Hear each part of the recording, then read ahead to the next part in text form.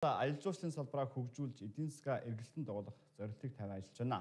Цар тахлын жилүүд хамгийн хохирол амсан салбар бол аялал жуулчлалын салбараа. Тэр ч утгаараа томоохон төслүүдийг эхлүүлж энэ онд нийтдээ 1 сая жуулчин авахар төлөвлөж байна. Энэ талаарх дэлгэнгүй мэдээллийг тодруулах хэсэгт манай сэтгүүлч Наран Чимэг хүргэх болно. Мэдээллийн хөтөлбөр тодруулгаар үргэлжлэж байгаа үзэгчтэй манай өнөөдрийн тодруулагт байгаль орчин аялал жуулчлалын сайд Батэрдэн оролцож байна. За бид аялал жуулчлалын салбарын дэлгэрэнгүй мэдээллийг үзэгчтэй хүргэнэ. Тэгэхээр сайдаа Монгол улс эрх жилүүдийг Монголд зочлох жил болгон зарласан. За сая жуулчин хүлээж авах ийм зорилтыг төвшүүлэн ажиллаж байгаа. Одоогийн байдлаар аялал жуулчлалыг хөгжүүлэхэд энэ салбарыг эдийн засгийн эргэлтэд оруулахад бодлогын төвшөнд одоо яг хамгийн сүүлд ямар ямар арга хэмжээнүүдийг хийж ажиллаж байгаа талаар яриа хэлье. За 3 сарын 11-ний байдлаар бол нийтдээ 63 мянган жуулч ирсэн байна. За 2022 онд бол бид нар 2 дугаар сарын 14-ний өдөр хил нээж исэн 290 мянган жуулч мал авч исэн. За 2023 онд бол бид нар 1 сая жуулч авахын томоохон хэмжээний зорилгыг тавиад ажиллаж байгаа. За хоёр төвчний ажил хийж байна. Нэгдүгээр бол гадаад сурчлагаа буюу одоо гадаадд гадаадд байгаа одоо аялал жуулчлалын компаниудтай хамтран ажиллах Welcome to Mongolia одоо хөтөлбөрийг бас тодорхой хэмжээнд одоо энэ манай Монгол улсаас гадаад улсаас байгаа диплом төлөвлөгчийн газруудаар дамжуулж хэрэгжүүлэхийн ажлууд маань ихтэлтэй явж байна. А дотор талд бол бид бэлнүү гэдэг одоо акцууд өгүүлж байгаа. Тухайлх юм бол бид нар нөгөө ариун цэврийн байгууламжаар хэрхэн шийдвэрлэх вэ? Тухайлх юм бол 2022 оны 290 мянган жуулчнаас эргээд буцахтан санал асуулга аваад үзэхэд бол нэг номерт бол ариун цэврийн байгууламж асуудал өндөгдөж ирсэн. Өөрөөр хэлбэл жорлончин болохгүй байна. Энэ бол наад захын хийх ёстой ажил.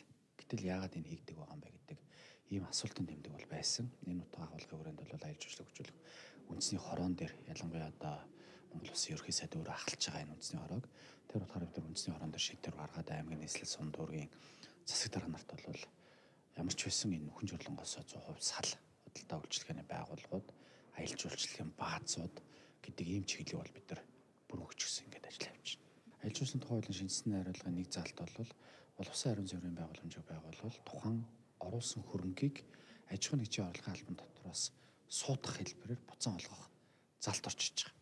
А энэ маань юу гэсэн үг вэ гэхээр жишээлбэл зам зуурын ч гэдэм худалдаа үйлчлэгний төвтэй тодорхой ариун цэврийн байгууламжтай байгаа тохиолдолд а тухайн одоо гаргасан эхний ээлжийн хөрөнгөнийхөө асуудлыг тайлагнаад эргээд аж ахуйн нэгжийн орлогын албан дотроос чөлөөлүүлээд буцаад мөнгө авчижна л гэсэн үг. А нөгөө талдаа зам зуурын одоо цэгүүдтэй холбоо бүх асуудал дээр бид нар аймаг болон нийслэл одоо сумын засаг дарга нарт бол алтан аялал үндэсний хороон сургуулж байгаа. Энэ маань юу вэ гэхээр хувийн хвшлийг дэмжих, а хувийн хвшлийг дэмжихтэй тухайлбал зам зуурын байдаг зам зуурын одоо худалдаа үйлчлэгээний төвтэй марийн зөвөрөн байгууламжтай ч юм уу байгуулах тохиолдол бол шууд газрыг гаргаж өг гэдэг ч юм уу те гих мэтлэнгээр ингээд дэмжлэгийн ажлууд бол нөгөө талдаа бас явна. А төр бол бүх зүйлийг хийх боломжгүй.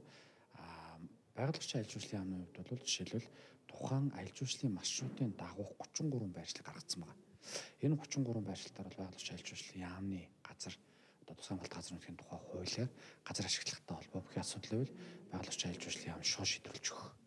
А нөгөө талдаа тухайн байршлын дагуу аялал жуулчлалын маршрутын дагуу байгаа учраас тэрийг бид нар олон улсад сурталчлах хэлбэр дээр дээрээс нь жуулчдыг тухайн маршрутын дагуу өнгөрүүлэх хэлбэр дээр аялал жуулчлалын яам бас дэмжиж ажиллаж байгаа гэсэн. Энэ маань өөрөө юу гэсэн үг вэ? Нөгөө орлоготой байх боломжийг бид нар нөгөө талдаа бүртгүүлээд өг. Та нар маань өрөнгөө гаргаж А бид нар танахыг орлоготой байх тал дээр төр дэмжсэн бодлого явуулаад өгөө гэдэг системийг л бид нар агуулж байна гэсэн үг. А 2022 оны 4-р сард байгуулагч аялал жуулчлалын сайд албан даалгавар гарсан. Аялал жуулчлалын баазуудыг нөхөн жорлонтой байхыг бол хориглож байгаа. За бүгдээр бол нөгөө бид нар ярьдаг балантай жорлон гэдэг шиг а ийм боловсон ариун цэврийн байгууламжтай болох ёстой гэсэн үг. Жилийн хугацаа болж байна. Одоо 2023 оны 4 сарын 1-ний өдрөөс хойш бол бид нар нөхөн жорлонтой. Тэр бол одоо коколцоотой энэ төргээд хүмүүс яриад байгаа бид нар колцоотой шүү дээ. Тэр ямар ч нөлөө байхгүй. Энэ бол нүхэн бол нүхэн. Бид нар бол хааштай төрийн шийдвэр гарч байгаа бол нэг хүмүүсийн ариун цэврийн байгууламжтай байх тухай асуудлыг л хөндөж байна. За нөгөө талаас бас нэг явж байгаа томоохон дэмжлэг нь бол аялал жуулчлал хөгжүүлэх үндэсний хорооноос гараад одоо шийдвэр гараад бас тодорхой хэмжээнд засгийн газар болоор гарсан аялал жуулчлалын компаниудад аялал жуулчлалын чиглэлийн бизнес үйлчлэгээ эрхлэгчдэд 55 тэрбум төгрөгийн хөнгөлөлтөд зайлуулах асуудал явагдаж байгаа. За энэний бол тэрүүн ээлжинд бид нар ариун цэврийн боловсон байгууламжтай гэдэг хэсэг рүү бид нэр тэрүүн зүрийн зээлийг олгохоор төлөвлөлтөд бас ажиллаж явж байна. Тухайлбал агаарын тээвэрлэлт дээр жуулчдыг татахад бол агаарын тээвэрлэлт, визийн хөнгөлөлт бол харгалт татж байгаа л да. Тэгэхээр энэ тал дээр юм. Сая нэгдүгээр сард бол манай гадаад харилцааны яам холцоо дотоод хэрэг яам манай байгууллагч айлж уучлын яам соёлын яам гэдэг ингээд хамтарсан байдлаар засгийн газар хуралдаанаас оруулсан 34 орныг бол виз англиас чөлөөсөн байгаа. Харин дээр либералчлалын хувьд бол маш сайн явагдаж байгаа. Манай бямцэг сайд маань бас маш сайн дэмжиж ажиллаж байна. Тухайлх юм бол өнөөдөр Япон улсаас Japan Airlines Монгол улс руу нисэх тухай асуудал өндөгдөд явж байна. За бүгдэн Солонгос улс Монгол хоёр хооронд бол нийтдээ 7 авиа компани байна. Одоо утгагүй Air Mongolia компани шинээр одоо нислэг үлдээд эхлэх гэж байна. 4-р сарын 15-ны өдрөөс ТV, Чэжүүэр гэдэг лоу кост ярилцлагууд бас Монгол руу нисгээр бэлтгэл ажиллагаа хангаад ингээд ажиллаж явах шатай байна. Сая одоо зам төвийн хөгжлийн сайд Бямцогт аа Кувейт болон Катар улсад бас аль бисны ажиллаж хийсэн. Үүний өрөөнд Кувейт болон одоо Катараас шууд нислэгтэй болох нь асуудал бас нэг талдаа шийдвэрлэж байна. 2013 онд Америк нэгдсэн улстай шууд нислэх үлдэх энэ ажлууд хийгдэж байна. Turkish Airlines-тай бол хуучин одоо урсгалын болон зорчигчийн хязгаарлалтууд хийгддэг байсан бол энэ бүх хязгаарлалт бол байхгүй болж нөгөө талдаа манай Мэд компанитай коучер хийсэн ийм одоо сайхан үйл явдал боллоо. Гэх мэтлэнгээр ингээд агарын тээврийн либералчлал маш сайн гэж байгаа. Бүгд хатад ард улсын талаас бол өөр одоо хотуудаас босод өөр эер чанагаас өөр авиа компаниудаас Монгол руу нисэх асуудлууд нөгөө талдаа бас хөндөгдөж байгаа. Энийг бас бид нар бүгд хатад ард улсаас Монгол улсад суугаан зүгэд бүр хэлчихэд сайдтай бас энэ асуудлуудыг дэмжиж өгөхийг бас хүсэж албайсны уулзтыг бид нар бас хийсэн. Толгойн дээвэртэй холбоотой асуудлууд байна. Гаднаас ирлээ 2000 км газраар явах уу? Гэдэг асуудлууд хөндөгдөж байгаа. Тухайлх юм бол би түрүүлс 190 мянган жуулчнаас санал асуулга авахд бол нэг номерт бол жолонгийн асуудал, хоёр номерт бол энэ дотоодын тээврийн асуудал орж ирсэн. Танаа зам нэгдүгээр одоо бас аюулгүй байдлыг хангасан зам чинь жоохон тийм байна. Аа шууд нислэгтэй баймаар байна. Тэгвэл бид нар нөгөө богино хугацаанд аялж байгаа ялангуяа жуулчтай тухайлбал бүгд намдах солонгос Япон сэрэгтэй хувьд бол дунджаар нэг 3 шин 4 өдөр зарим нь бол 4 шин 5 өдөртөө орчдөг гэж болжт байдаг. Тэдний манууд их их цагаа зандаа алдаж байгаа учраас шууд нислэгтэй тохиол бид нарт бас танаа Монголын говийг үзээд те нэг ч одоо уул байхгүй минингийн талд очиж үзэх нөгөө их улсын баруун аймагуд руу явж үзэх гэдэг ч юм ингээд гих мэтлэнгээр ингээд богино хугацаанд бид нар их олон юмнуудыг үүсэх боломжоор хангаач гэдэг энэ асуудлыг бас хөндөж байгаа. Тэгэхээр бол ялж чадахгүй дотоодын харан дээр бид нар сайжруулах зайлшгүй шаардлагатай байгаа гэсэн үг. Муу зочид буудлуудад дээр ямар тулгамцсан асуудал байна. Одоо жуулчид ер нь нэг том том одтой ч гэх юм уу тий олон одтой буудал буухаас илүү жижиг тийм буудал буугаад Монгол орны одоо байгалийн үзэсгэлэнт газруудыг илүү их одоо санхүүгийн хувьд тий буудалд мөнгө өрхөөс илүү байгаль орны байгаль орчин тойрныг үзэх юм сонирхолтой байдаг гэж ярьдаг штеп. Тэгэхээр дэм буудлуудад одоо нэг татвар аж ахуйн нэгжийн албан татварч гэдэг юм уу тийм олон юм асуудал байгаад байдаг. Тэгэхээр яг энэ дин буудлууд болон зочид буудлуудад ер нь хууль дээр тусгаалan одоо орж ирж байгаа онцгой зүйл байгаа болов. Бид нар бол жишээлбэл Улаанбаатар хот гэхэд 4000 орчим ортой байна тухайлбал хамгаалж зочдлууд маань 4000 жуулчин нэг өдөр хүлээж авах хүчин чадалтай байна гэсэн үг. За энийг бол бид нэр 6000 болохоор ажиллаж байна. Өөрөөр хэлбэл тодорхой хэмжээний стандартчлалыг яралтай явуулах, мөрдүүлэх үүний өрөөнд зочдлуудын зэрэглэлүүдийг олгох ажлуудыг төрөс шургаалж байна гэсэн үг. А орон нутгад байгаа зочдлуудтай холбоогүй асуудал төр мөн адилхан энэ асуудал өндөгдөж байгаа. А нөгөө талдаа бид нэр зэрэглэл одны зэрэглэл шаардсан зочдлуудын тоог бид нэмэгдүүлж байгаа. Энэ өөрөө нөгөө Монгол улсад ирж байгаа жуулчд маань тодорхой хэмжээнд стандарт хаад хөгжлүүлээд гаргахад зэрэглэлийн очирчдуудад бол бас нэг авж байгаа тариф авч гэсэн арай өндөр үйлчлэгээ илүү сайн тавтаа тухтай байдаг ч юм уу те энэ утга агуулгаараа Дэм буудлуудын хувьд бол яг хаа одоохондоо бид нар дээр дэм буудлуудыг ашигладаг холбоох асуудлууд бол хөндөгдөөгүй байна нэг нүгэлт. Яг зочид буудлын хэлбэр дээр л бид нар ажиллаж байгаа. А дэм буудлаар ороод үйлчлүүлээд гардаг хүмүүс бас бий. Одоо жишээлбэл нөгөө хямд өртөгтэй аялахыг хүсэж байгаа жуулчид За ер нь бол яг тооцоо судалгаа гараад үзэхэд бол Монголд бол нэг жуулчин дунджаар 1000 орчим доллар үлдээдэг гэдэг ийм тооцоо судалгаа бол байдаг.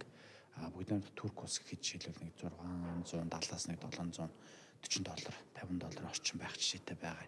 Тэнд бол илүү их өрсөлдөө байна гэсэн үг. Монгол өрсөлдөөн тэр хэмжээгээр бага байна гэсэн үг. А нөгөө талдаа тэнд агарын тээвэр жишээлбэл маш их одоо хот хооронд нисэж яхад манайх бол ганцхан авиа компани үнэтэй байдаг гэдэг ч юм уу те. Эсвэл одоо газраар олох хоног зарцуулдаг гэдэг ч юм. Ингээд тодорхой хэмжээнд үлддэг мөнгөнд үнэтэй холбоотой асуудал төр бол 1200 доллар Монгол улсад үлдэж байгаа гэдэг энэ тооцоо судалгаа байгаа. А хил орчмын айлж үйлчлэг хөгжүүлэлт холбоотой асуудал байна. Жишээлх юм бол хуучин бол зөвхөн одоо сумын төв дөнгөчүүдэд одоо ороод гардаг байсан бол одоо бид нар аймгийн төв оруулах асуудлыг бол хөндөж байгаа. Тэгжиж манай нөгөө аймагуд дээр хөгжил ирэх юм бэл. Тэр хөрөнгө оруулалтууд те Одоо жишээлх юм бол Дорнод аймаг чавлсан гэхэд өнөөдөр бид нэр хил орчмын аялал жуулчлалыг хөгжүүлснээр ямар хэмжээнд хөгжүүлэх бололцоо байна. Өмнө Говь аймаг гэдэг ч юм уу одоо Ховд аймаг гэж ингээд тодорхой хэмжээнд хил орчмын аялал жуулчлалыг хөгжүүлснээр бизнес эрхлэгчид маань тухайн жуулчдад зориулсан зочд бодлуудыг баар зоогийн газруудыг магадгүй найт клуб ч юм уу те магадгүй тухайн жуулчдад үйлчлэх юм үйлчлэгээний байгууллагуудыг ихээр байгуулах боломжтой бас нэг хөдөлтөд бид хөрдүүлж өгөх хэрэгтэй. Яг нэг хөдөлтөд өндөр Монголд ирээд мөнгө үлдээж ихэд танад мөнгө үлдэх газар алга хамгийн үнэтэй чинь зочдод л байна. Бусд нь одоо баг одоо худалч нь өнгөө шах байна. Тэгээ ядж яхад нөгөө танай байгалийн туршилт газрууд гой гой ч юм бол бүгд өнгөө ид юм байна. Бид нэр зүгээр очил гаднаас нь хараад буцаад ямар ч мөнгө төлөвдөггүй л унааны зардал гардаг гэхдээ ч юм. Тэгэхээр бид нар энэ үнэтэй аялал жуулчлалыг хөгжүүлэх тал дээр бас тодорхой бодлого концепцийг гаргаж ажиллах бол байнга бид нар одоо энэ байгалийнхаа гоё тогтоц дээрээс нь энэ байгальд байгаа ялангуяа Монголын одоо юм турсгалт өлгийн зүйлс бол байгальтай байж идэг. Гадналт нь очиод байшин бариад хүрээлээд тасалбар түгээдэггүй те. Очиод энийг бол бид нар менежмент хэлбэр шилжүүлэх асуудал төгөрт давхар өндөд ингээд явамдар явж байгаа. Тийм яг үнэ одоо тухайлах юм бол нөгөө нэг хинтээ аймгийг бид нэр аялал жуулчлалын бүс нутаг болно гэд болгоно гэж зорилсон байгаа. Үүнтэй холбоотойгоор ер нь нөгөө нэг томоохон төслүүд маань урагшлуулах тал дээр ер нь ямар Хинтээ аймагт Бэндэр суманд одоо их хуралтай. За дадал дээр бол Чингис хааны яг төрсэн газар гэдэг утгаар маш том хэмжээний тэнгэрийн орд болон бусад танил танилцуулга музей а томхон байгуулалт ажлууд бол Аз хөгжлийн банк хамтраад хийгээ явж байгаа. А дэлгэр хаан дээр жишээлбэл одоо Монголын нус төвчөө гэдэг ч юм те нориглон дээр шихийн утга гэдэг ч юм. Ингээд тодорхой хэмжээний бүтээн байгуулалт ажлууд бол байна. Бид нар бол энэ жилийн 5 сарын 31-ний өдөрт бол дадлаас бусдын гэн бүтээн дуусгах гэдэг юм чиглэлгээд газрын дараа бол өнөр одоо тусдаа хариуцуулаад ингээд тухайн ажлууд бол явагдаж байгаа. За өчигдөр хэд бол жишээлбэл бинтер суман дээр байгаа их хуралдаатай холбоогүй асуудал дээр бол холбогдох одоо аж ахуйн нэгжийг бол дуудаж уулзаад тодорхой юмнуудыг бол бүгд яриад хэлцээ явж байгаа. 6 сарын 1-ний өдөрт бол дадлаас бусдыг ашиглалтанд оруулах ийм төлөвлөгөөд ажиллаж байгаа. Тэгэхээр бид нар ийм жуулчдын очиж байгаа газар цэгүүд дээр бол тодорхой хэмжээний цэвэрлэгээнээс ахуулаад нөгөө бол толботой асуудлууд нөгөө хандлагатай холбоо бүх асуудлуудыг бид нар хөндөхөөсөр арга болж байгаа. Нэгдүгээр сард бүгд хамт хятад улс хилэнэ гэж эхний нэг 168 хятад иргэд орж ирсэн шүү дээ жуулчд. Тэгэхэд жишээлбэл шууд хандлагын хувьд одоо хятадуудаар дүүрлээ энэ хятадууд ч болохгүй байна одоо ингэчих үедээ тэгчих үедээ гэдэг ийм агуулгын өнөөдөр яригдчиха. Тэгээ бид нар бол яг визний ангиллын хувьд өнөөдөр бид нар хэлсэн 63 орчим мянган жуулч ирсэн байна гэдэг маань бол 30 хоногоос дээш визтэй орсон сургууль визтэй ирж байгаа иргэд бол энэ донд орохгүй. Суралцаар ирж байгаа сурагч оюутнууд бол орохгүй.